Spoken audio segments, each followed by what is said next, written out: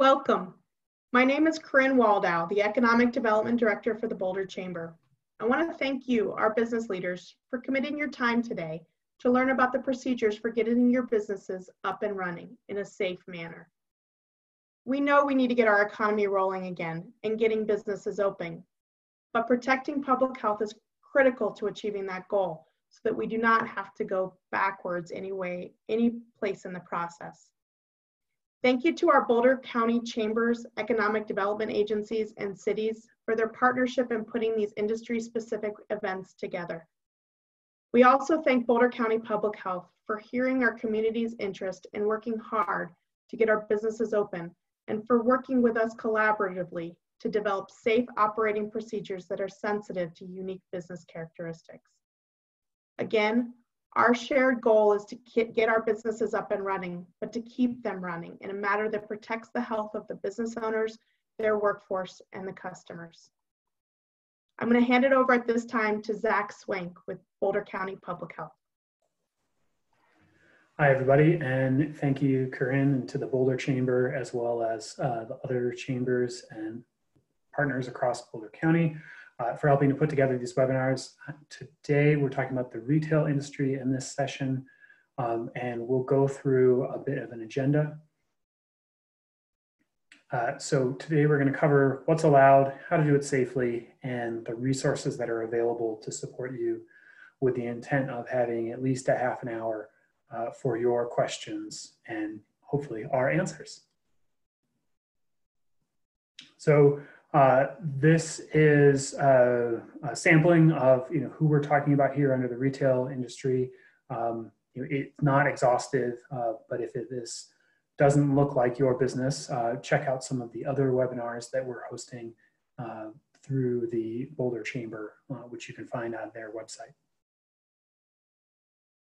So timeline, this will be familiar. Um, we've been under the stay-at-home order uh, since March 26th, um, and that was extended until this Friday. Now, starting on Saturday, we transitioned to the state safer at home order as well as uh, the Boulder County face covering order. But long term, it's important to remember that you know, we're going to be under some version of uh, an order like the one like like safer at home until we have a vaccine, treatment, or herd immunity. You know, the uh, the contagiousness of COVID-19 has not changed. Uh, we are just changing our approach on, on how we work to mitigate its effects um, and on the community. Uh, and so that is going to continue to be in place uh, for the foreseeable future. And we're talking months, um, not weeks, you know, even after the current safer at home order expires, uh, you can expect to have something similar uh, put in place over the course of June. So we're currently under stay at home. That goes until Friday, um, but curbside is allowed um, and has been allowed uh, for the last week or so. Um, and then we have the new face covering order and preparing for safer at home. So the face covering, uh, if you are outside your residence um, and you won't be able to uh, uh, maintain uh, six feet of separation between you and others, uh, you are required to have a face covering. The exceptions are if it's not safe uh, for some reason or for a medical reason. if you're you alone, you know, you're outside your residence, but you know, you're um, you know, at your office uh, and you're the only person there, uh, or for children 12 or under. So what is safer at home? Uh, it's important to emphasize that you know, we still need to stay at home as much as possible. Um, the again, you know, the, the, COVID is just as contagious as it was. Um, we're striking a balance between uh, you know, what our public health director calls a, you know, a no-win situation, right? We have, um, you know, health risks if we loosen our restrictions, um, but we also have have health and you know economic risks if we keep them tight. And so um, you know, it is really incumbent on all of us um, to follow these orders as closely as possible because the thing that we, we most want to avoid is seeing an increase of cases and then backsliding back into a stay-at-home order. Uh, so uh, most businesses are now going to be able to open with restriction, uh, although some high exposure businesses, um, such as you know a yoga studio or an esthetician, uh, are not going to be able to operate. Um, you know, restaurants still can't have dine-in customers. Um, and really, this is new territory for all of us. Uh, we're all learning how to navigate this as we go, uh, and it's going to continue to change and evolve. So hey. I will pass it over to my colleague, Angel Bond, who is the specialist working uh, as liaison for the retail industry. Great, thank you, Zach. And uh, thank you, Boulder Chamber, for hosting these. Um, as Zach said, um, I'm going to be addressing the retail industry today. Um, so right now I'm just going to talk about what is permitted at this point. Um, so as Zach mentioned, we are under um, extended stay at home until um, the 8th. So on the 9th, um, retails that were deemed non-essential previously can start operating. And you can operate now as long as you're doing this curbside pickup and delivery. And Boulder County has developed a curbside pickup and delivery resource guide for you that's available on our website um, just to ensure that you're protecting public health um, while modifying your um, business.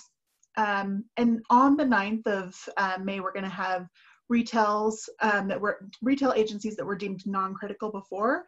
Um, on the 9th, they're able to operate but it's with restrictions. And the important thing to consider is that um, those retail industries need to be at 50% capacity or they need to maintain the ability to have people stay six feet apart.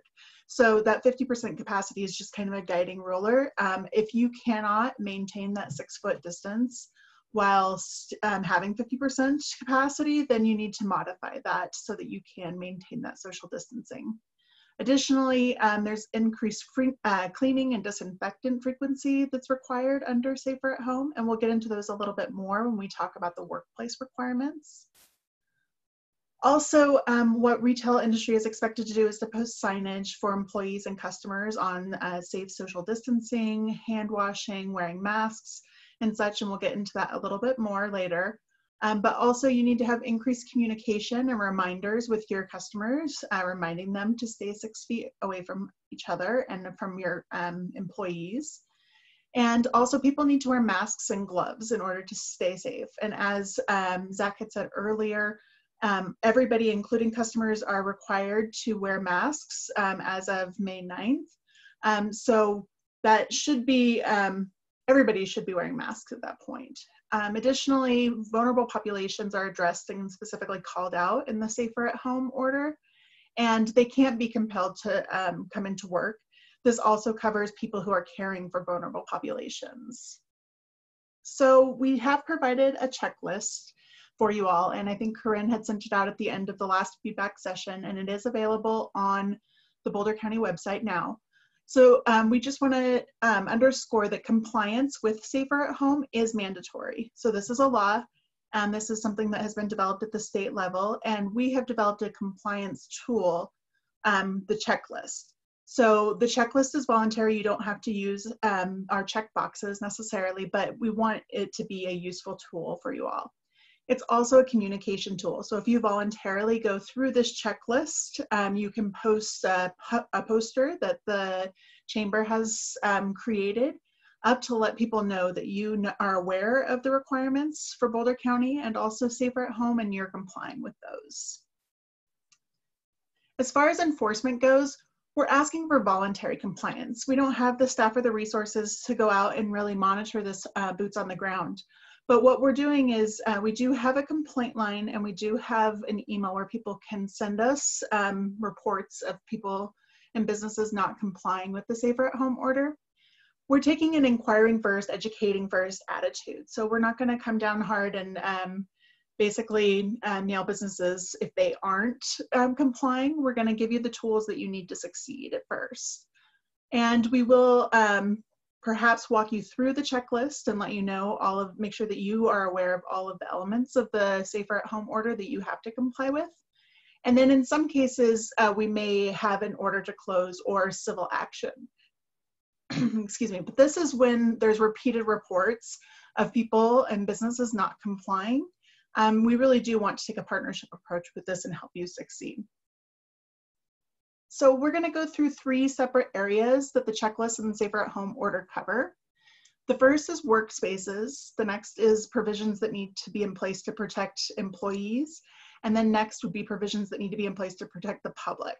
So first we're gonna start with the workplace checklist. So first and foremost, all of the industries must follow the general guidelines in addition to their industry specific guidelines. Also, if you're operating before May 9th, you do need to have curbside and delivery um, in place if you were a non-critical business previously.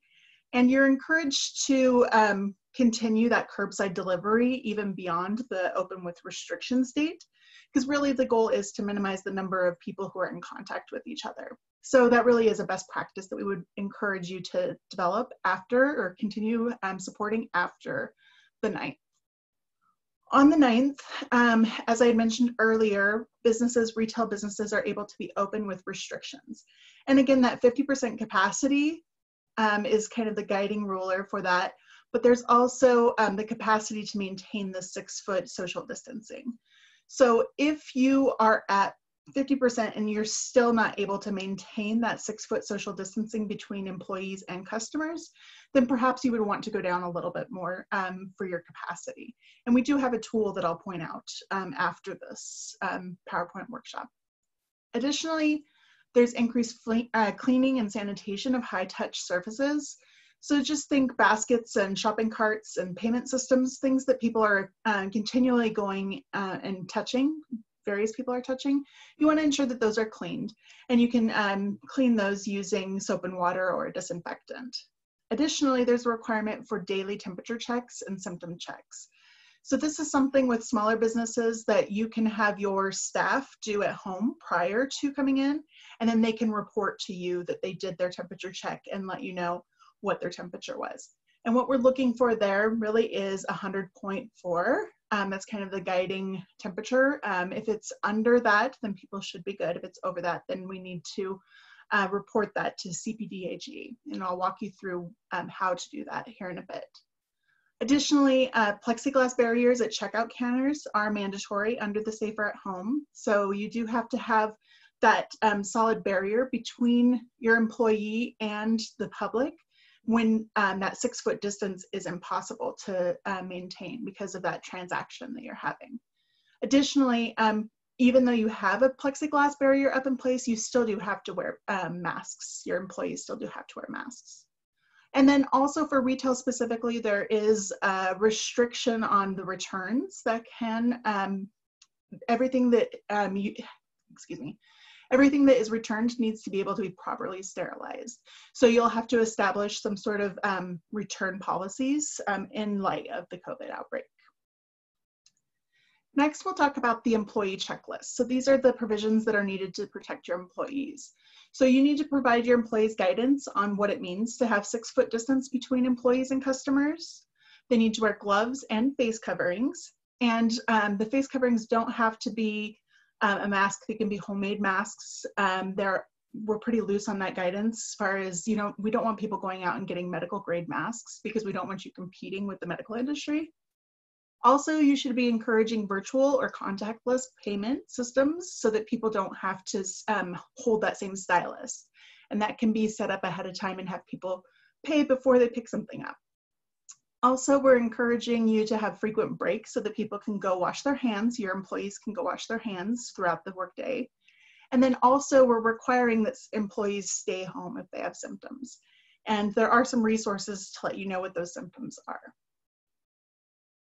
As far as the customer checklist, um, you are required to have signage that encourages social distancing and also wearing masks. Um, and that signage should be bilingual in Spanish and in English, and the Chamber has put together some of those resources for you. You should have dedicated hours for high risk individuals. And by high risk individuals, we mean people who are over the age of 65 or they have um, some sort of previous um, pre existing condition that makes them especially vulnerable to the COVID virus. Um, also, you should have signage encouraging face coverings for the public. And um, we have created a tool for you all to use to kind of um, walk through that scenario, uh, maybe through your staff training, but basically um, how to confront um, people who are visiting your stores who don't have face coverings on. So just basically getting to the um, acting in a way that is basically inquisitive and educating people and not necessarily being accusatory at first. And I'll walk you through where that resource is. And then also just providing supplies for customers to be able to sanitize those high touch areas such as baskets or um, shopping carts. So these are some of the questions that we got last um, last week. Um, so one of the biggest questions that we got was about the protective plexiglass screens, and they are required. Um, some of the questions were about the, the dimensions of the plexiglass, and we don't have guidance to that level. We've um, taken all those questions and we were, we've referred them up to the state. Um, so maybe we can have some uniform statewide guidelines, um, but you do have to have um, the protective plexiglass screens in place before you open on May 9th. Also, as far as cleaning and disinfecting goes, um, there were some questions about clothing and other soft goods. We don't have further um, information on what that actually entails. We've also taken those questions and we've referred them to the state for statewide guidance but they we do have a resource that is on the Boulder County website about how to um, clean and disinfect um, clothing, but it's not necessarily goods for like sell. Um, it's mostly like laundry and those practices. Also, um, the, another question that we got was about social distancing in small stores or separated areas. So um, this was in particular in response to the requirement to have aisles, one-way aisles throughout the store. And um, if you don't have a large, if you don't have aisles, then there's no requirement for you to have one-way aisles throughout your store, but you should attempt to have some sort of flow of traffic in your store so that people don't come into contact with each other. That's really trying to just minimize the people who are coming face-to-face -face contact in a small area. Additionally, um, if you have a separated area of your retail establishment, such as a garden center, then you also still need to monitor the six foot distance in that um, separated area. So if you are a large retailer and had a separated garden center, but everybody who you let in was in that separated in that separated garden center, you would have to look at the dimensions of that um, separated area to ensure that you were um, you had maximum or sorry you had the minimum of six foot distance between all of those customers. Also, another question that we got uh, was about cleaning products. And um, just to let you know, soap and water is effective against um, the virus. And then also there are guidelines on our website about the disinfectants if you want to use a disinfectant instead of a cleaning supply, instead of a soap and water supply. Um, and then another question that we've gotten was, are homemade masks okay? And they are. Um, they are effective. Um, they are an effective barrier. So I want to point out some other resources here. So I'm going to go ahead and get out of the, the PowerPoint presentation. So um, the CPDHE um, webpage here has information on the outbreak. Is that big enough or should I make it bigger? Can you see that? Okay, great. So um, this is the CPDHE um, COVID-19 page, and you can scroll down and find um, your sector specifically. So this is just covid19.colorado.gov. Um, and if you go to retail, it has all of the guidelines that you'll need as a retail establishment. So that's really helpful. And then they have some additional mask guidelines, some symptom screening, um, more resources that will be helpful for you. Additionally, Boulder County has um, our website here. This is our COVID, um, this is our COVID-19 guidance for Boulder County, Safer at Home. And we have, we break down, um, we have some resources that I spoke about in this presentation, such as uh, face covering guidance, um, symptom screening. So if you have an employee who has a temperature that's over 100.4, then they would be um, directed to go to the CPDHE symptom screener to enter in that information. Um, we also have um, some outbreak guidance. So if you have more than two uh, employees who um, have symptoms or have been positive uh, tested positive for COVID 19, then you would um, follow the outbreak guidance for businesses. Additionally, um, we have the script that I had talked about, about how to talk to your customers about um, putting on a mask and wearing a mask. Your specific checklist is here under retail. Um, and this is what it looks like. And then it just basically goes over who it applies to. And then uh, we have broken it down the same way that we broke down the, um, the PowerPoint presentation with the workplace, the employee, and the customer safety. And we do have links within this for the CPDHE symptom tracker or points when you would need additional resources. So this is really what you would be doing going through in order to put those posters up in your um, business to show that you are aware of the Boulder County guidelines. And um, additionally, let's see. Additionally, um, the guidance for wearing masks, this was from the COVID-19 colorado.gov page. Um, and this is the script that we had talked about, the sample script for businesses, um, encouraging people to wear face coverings. So um, between these two websites, between the CPDHE website and then the Boulder County website, we've referred to a lot of additional resources to help you be successful in this. So um, also the Chamber has been a huge partner and um, wonderful asset in this. They've created a lot of documents and um, like posters for you all. Look to your industry associations. I know, I know the National Retail Federation has some guidelines on COVID.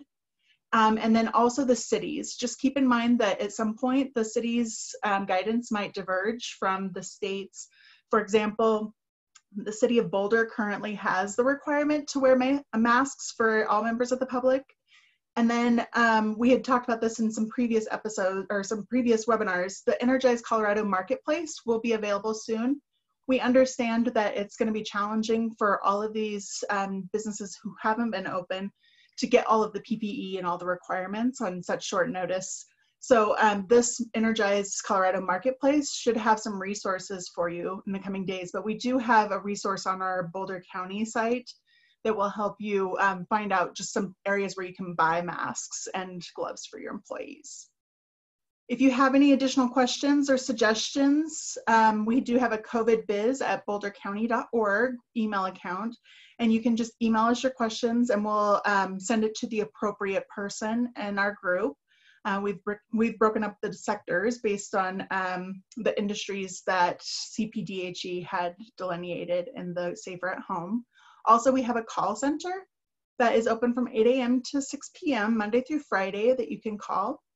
And then um, lastly, we're going to be holding these sessions every week. Um, and our session for retail will be on Thursdays um, from 2 to 3. Um, is that correct? I think that's that's correct. Okay. I was thinking because we're at three o'clock today. So this is the um, shortened link here, uh, but you can also go to the Boulder Chamber and you can look to see um, all of the scheduled um, sessions that we're going to have. But at that point, um, I think we're open for questions if you have any at this point.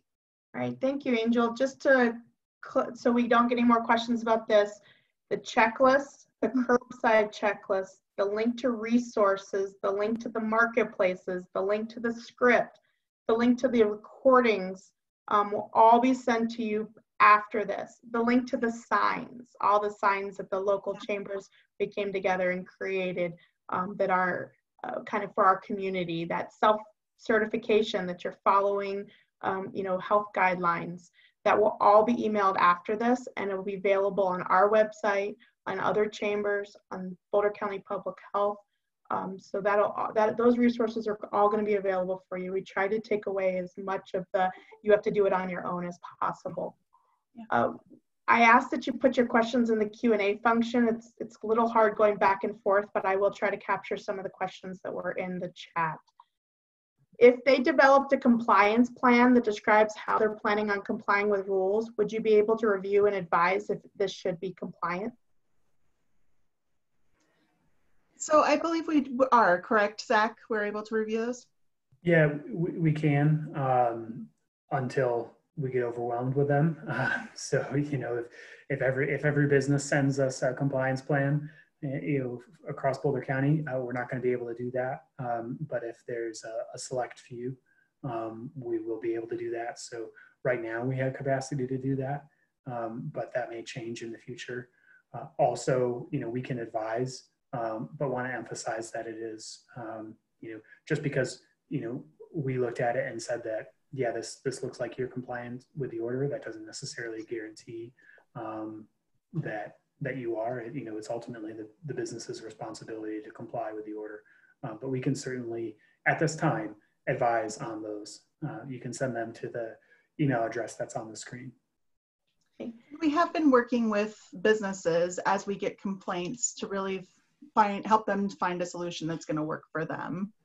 And, and I think that you know that brings up a good point, which is like we would much rather work with you up front uh, and and um, you know get a plan in place that that works for you um, and that is safe for the public and that uh, you know the public doesn't have questions about. You know, part of this is uh, you know we want to help you avoid uh, negative public perceptions of uh, your practices. So we would much rather work with you up front uh, before you know someone reports to us that that that there was something going on that they were concerned about um, and, and prevent that from happening.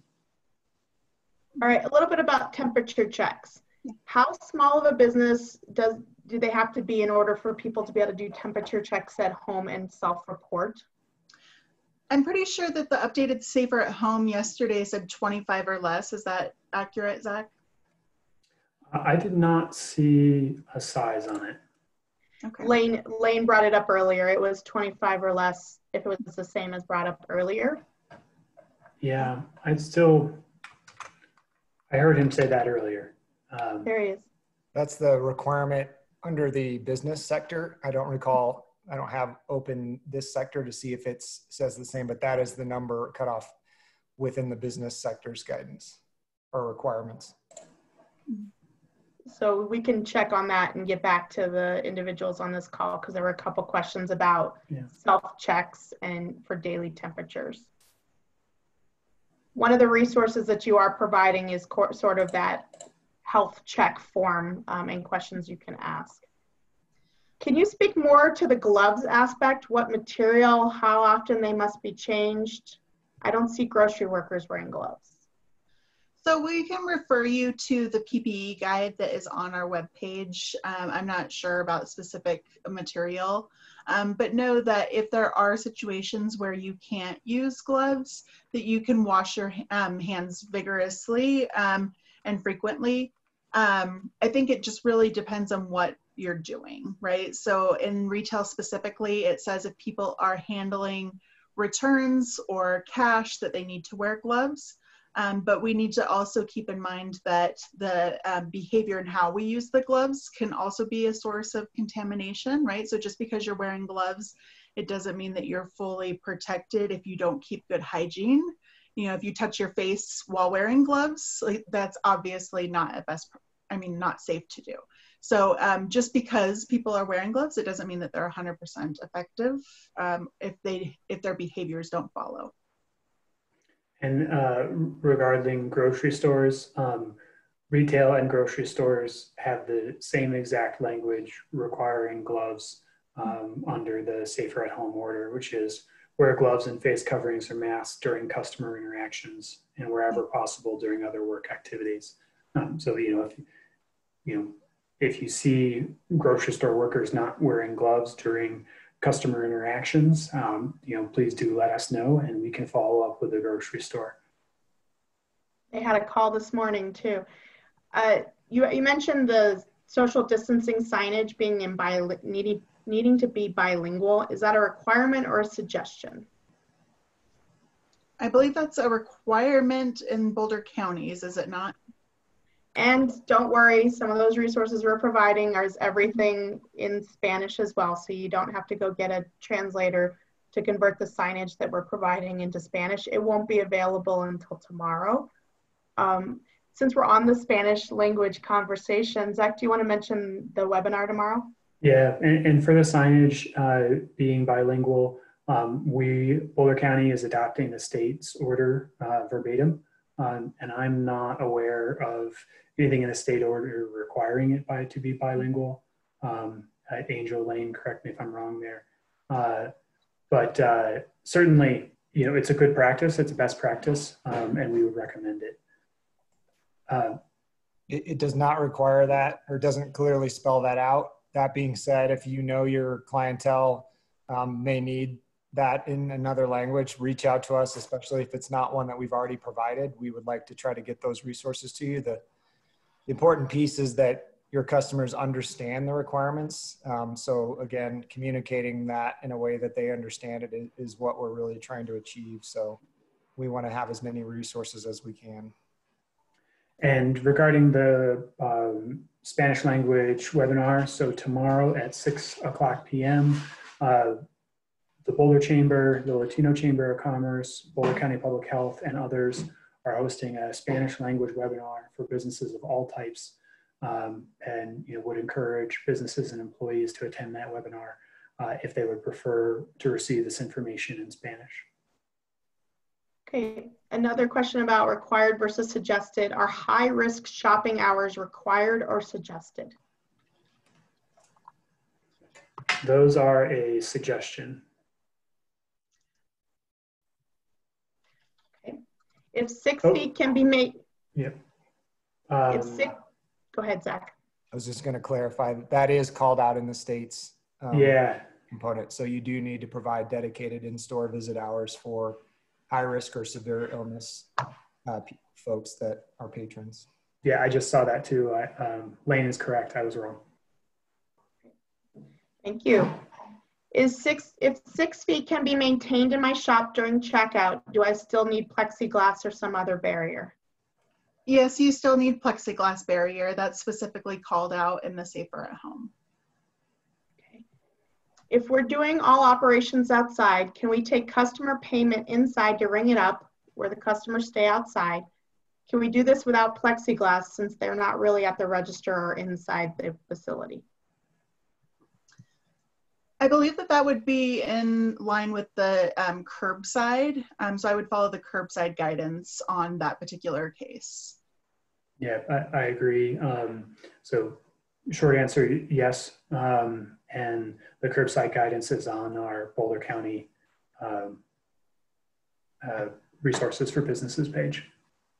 And I, I send that out with the retail because I know there were questions about that there is a question about again about clothing. When might you get an answer on how to sterilize return clothing? We might not.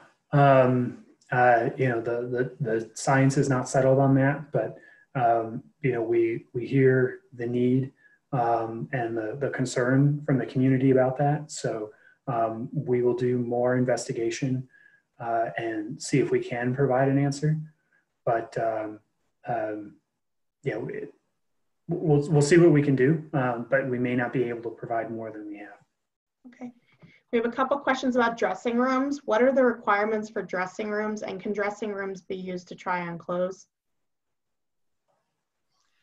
So I'm not sure. I would think that if you clean it, that they would be able to be used for uh, trying on clothes. But then again, those um, return policies and um, those guidelines on what like safe handling of clothes i would personally want to get um, guidance from cpdhe on clothing first. Because if that clothes if that those clothes aren't purchased and they're technically being returned back to the store. Yeah. Yeah and the you know um, those rooms would would fall under you know the the category of high touch areas. Uh, so you would frequently want to you know clean the door handles, clean the latches, uh, you know anything else that might be touched in those uh, changing rooms would want to be uh, cleaned with high frequency. And do you want to maybe uh, shut down some of your your uh, changing rooms in order to create more social distancing? That would be a great idea. Corinne, you're getting good at this. You, you, want a new job? We got one. this is my 15th call. Yeah. What what will determine a reverse and safer at home and cause us to go back to stay at home? So you know the increase in um, in infection rates, um, uh, you know, but the, the big indicator is hospitalization rates. Uh, so, you know, a, a large part of the point of the stay-at-home order was to prevent the hospitals from being overwhelmed so that, you know, everyone with COVID uh, could be treated and there were enough ventilators for them, but also for people who had other reasons to go to the hospital, um, that they had beds and could be treated as well. So, um, you know, that's one of the most key metrics, um, but we'll be looking at, you know, the general rates of infection uh, as well as, um, you know, where those infections are occurring um, and, and how, you know, how that transmission is happening. Uh, all those factors will, will play, but the, the biggie is um, the hospital uh, hospitalization rates. And I will put into the chat, um, and I'm sure Corinne will send out with them resources afterwards, uh, Boulder County's live page of where they have daily updates on uh, the local Boulder County rates of infection.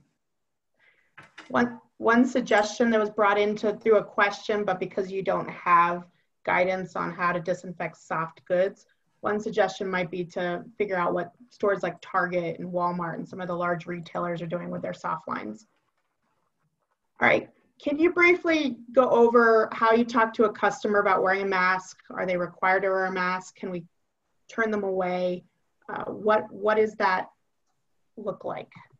Yeah, so right here we have kind of like a decision flow chart, and let me know if you can see it. Um, is it clear to everybody? Might be a little small. So um, we've basically, and this is going to be this is going to be awkward at first because this isn't something that we're used to doing. So we would recommend that you probably go through this script, you know, when you're doing your employee training. But basically, um, it's an introduction, like welcome to the business. I see that you're not wearing a face covering. Do you have one that you can put on?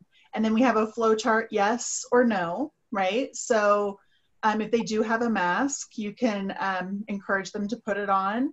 Um, if they say that they can't for medical reasons, they can't be forced to wear a mask. Um, there are, you get into um, the Americans with Disability Act here. So um, you want to be delicate if they say that they're not able to wear a mask.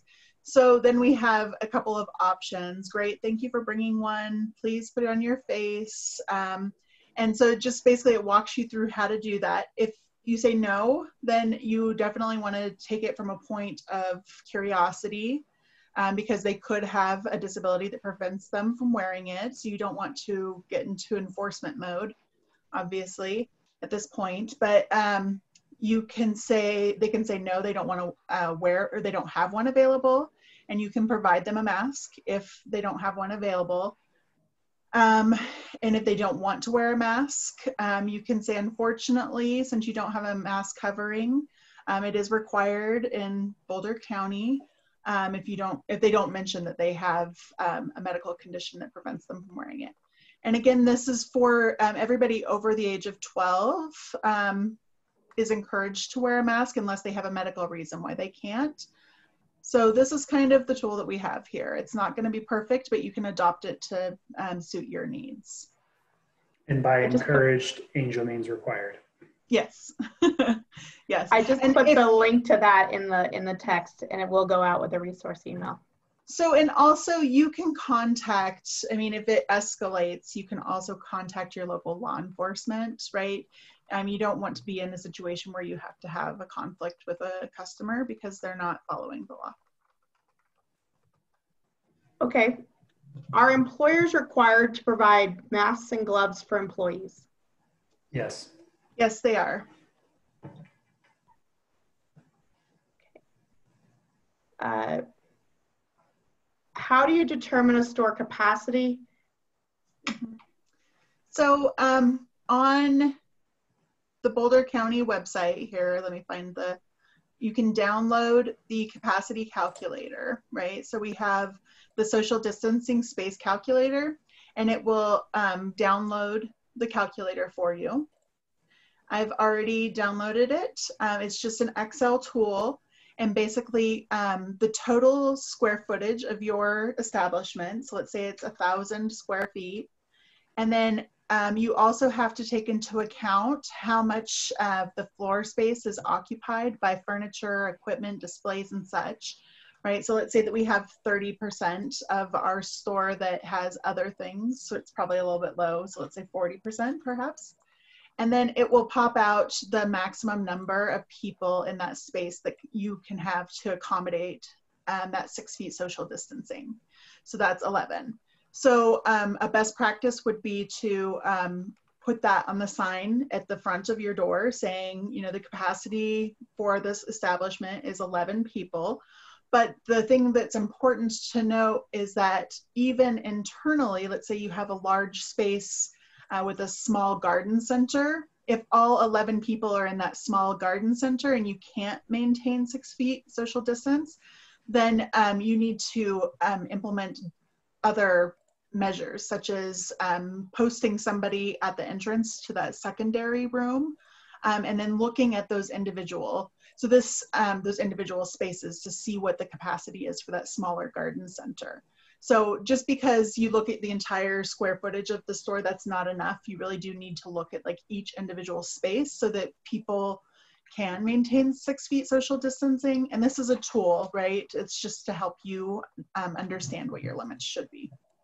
Um, and, and we should also say that that is a, um, a starting point. Um, you, you may, you know, that, that is basically the, the maximum um, and it may be more practical, um, you know, based on the layout of your store, uh, et cetera, that, you know, in a thousand square feet uh, with 40% of your floor space occupied, 11 people may be too many based on the, the, the actual layout of your floor. Um, so, uh, you know, just look at that and, and see what would be um, appropriate for your store. Also, um, I'm embarrassed to say that I noticed that there's an error in this calculator this morning, um, and I had requested that it be updated, um, uh, and it has still not. Uh, so come, don't use what's up there today. Give it a day. Come back tomorrow, um, and we'll have an updated version there. And one of the signs that we will be provided is a capacity sign um, as well as additional signage uh, telling people to continue to create social distance even if you're if you're under that capacity. So um, another thing also that I would like to bring up is that um, it includes your employees as well, right? So when you're calculating your 50% capacity, take into consideration how many employees you have in there as well as members of the public. Okay.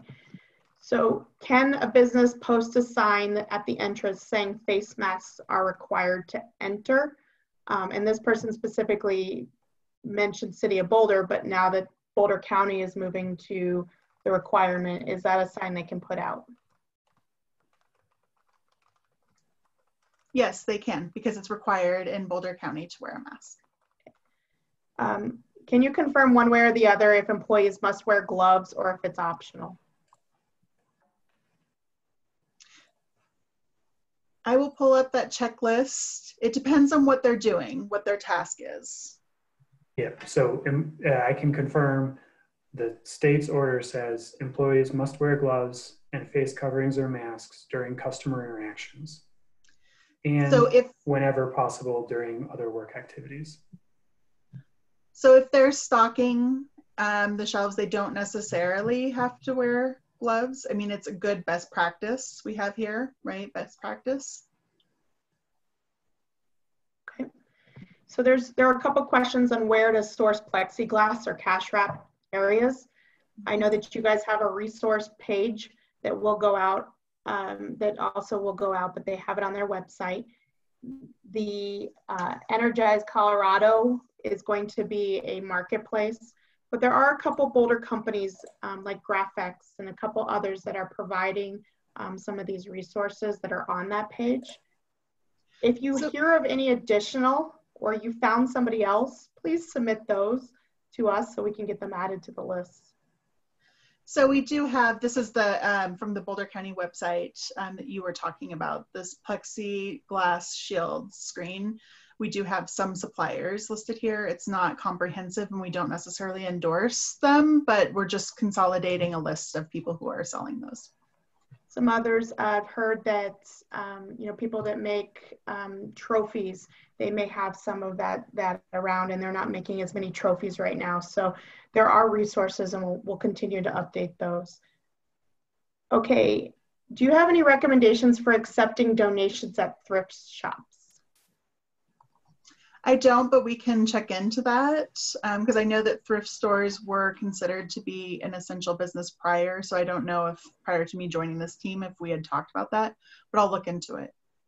I mean, some some ones that come to mind, you know, you'll you'll want your employees who are handling those donations um, to wear a mask if they're going to be interacting with customers, uh, as we just established, as well. Um, you know, gloves. Uh, uh, highly recommended there.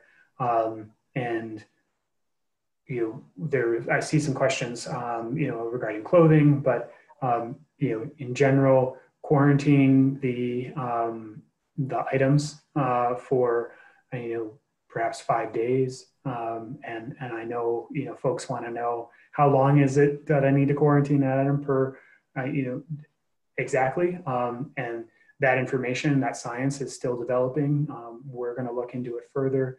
We'll hope to have an update for you next week, but um, you know that information is just unclear uh, to us as well. But certainly, you know, um, quarantining for for five days would be a, a decent idea. And it would seem like um, the policy should at least be similar to the return policy, right? So the guidance that the state gives is to restrict return policies to things that can be um, adequately cleaned or disinfected.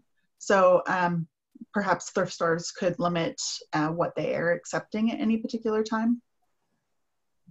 And I think if there's an ability to launder things and then have that five day quarantine, that that's that's ideal. Yeah. Things that can be wiped with a disinfectant wipe, that's ideal. Okay, so one, a couple more questions about the mask guidance. Um, there's just concern that people don't have to, they're not required to validate their medical reason. And just maybe one more touch one more time on that. And is that going to cause, if a lot of people are using that excuse, will that be an issue?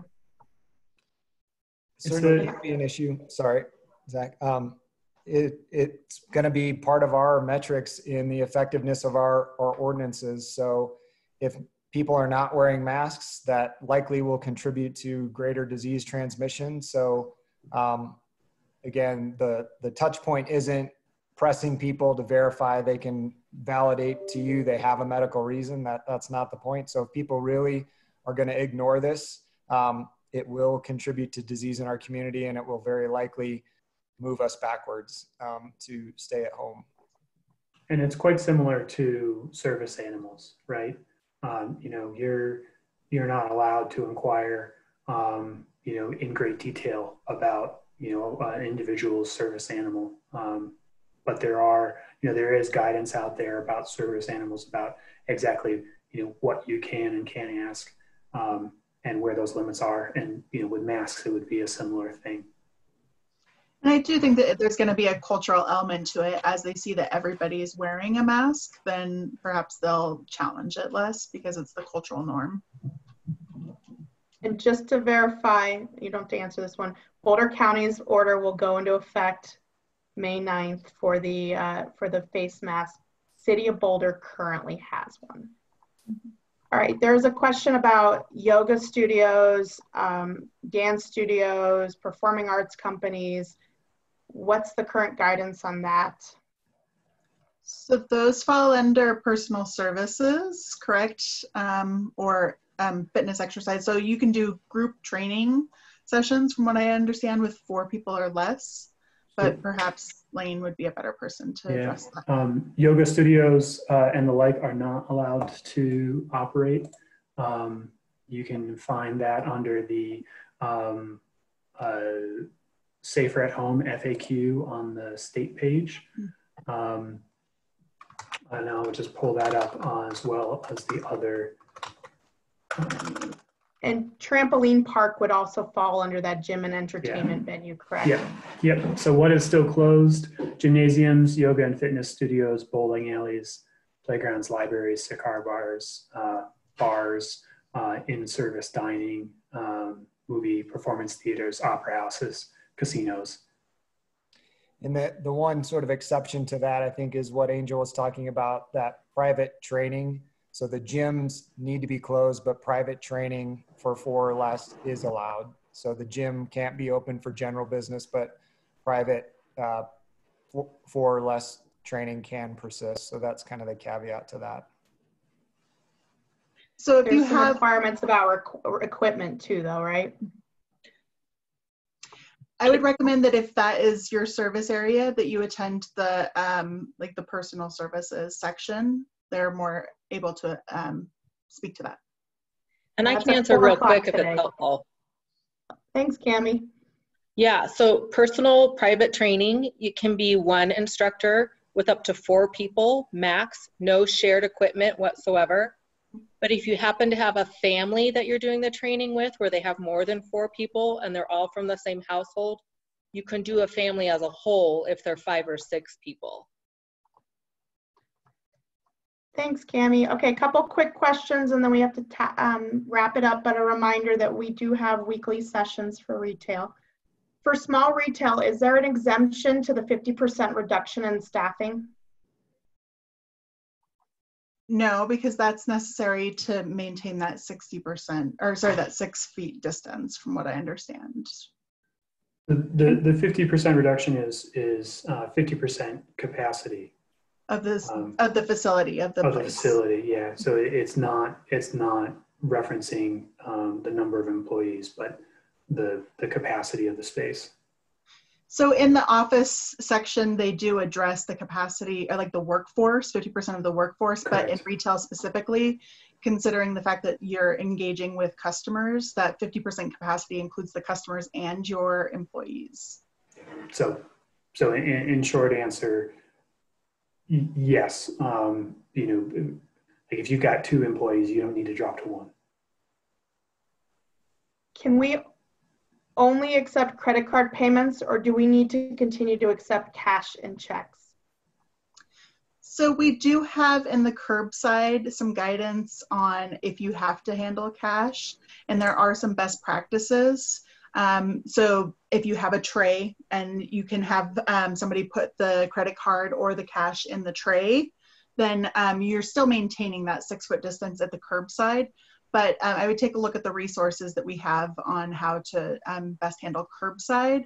Um, so it's not only, it says virtual payments when possible. Okay. Is the capacity calculator you mentioned earlier the max? Or is that taking into effect the 50%?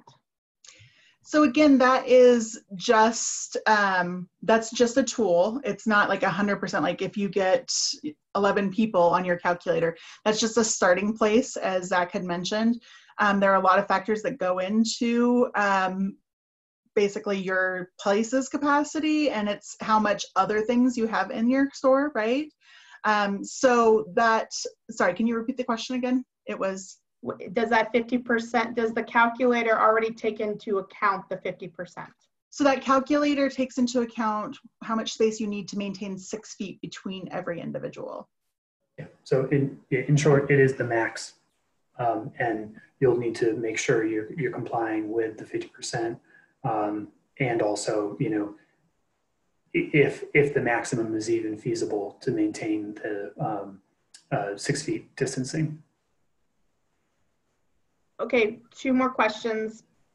We've covered cleaning of payment areas, returns, but what about product on shelves? Should those be cleaned? I mean, if they are high touch areas, then I would recommend cleaning them because it doesn't specify the products per se. It says, um, you know, your people who are stocking the shelves should be encouraged to wear gloves. Um, so they should be clean unless they're touched. Okay, would private shopping appointments be okay as an option for high-risk populations as opposed to dedicated hours? Absolutely. Yeah. And then one last question, should restrooms be closed to the public? It's not required. Um, you know, it could be a, um, yeah, it's, it's not required.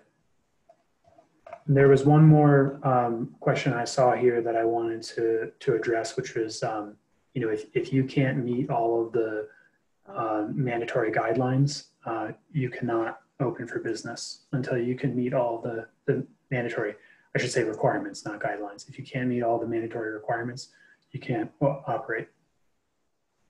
Okay. No, we didn't answer all of them. Uh, some of the questions that you have up will be uh, answered in the resources and the Q and A's, and then you guys are still going to look for guidance on the um, soft lines, more the clothing sterilization. But reminder that we do have weekly calls for retail. Uh, they're on Thursdays at two o'clock. They will be going on for the foreseeable future in order for us to continue to share more information, for Boulder County Public Health to share more information, and to get feedback, best practices, and so forth. Uh, you will be getting an email with from me with a bunch of resources. If you don't see something that you can't find, please do not hesitate to reach out. I want to thank you for participating in this to learn how to open your business safely. I want to thank Boulder County Public Health. This is our seven of eight where they've really dedicated time to help businesses understand the requirements and help them open safely um, in the future. And then I want to thank you um, for continuing to, to stick with this, to get the information and to understand that public health and economy, we have to balance both of them. Um, all our cham- all the chambers are very dedicated to making sure you have the resources, and we're going to continue to try to get answers to questions and get feedback from um, our businesses. Thank you, and have a wonderful day.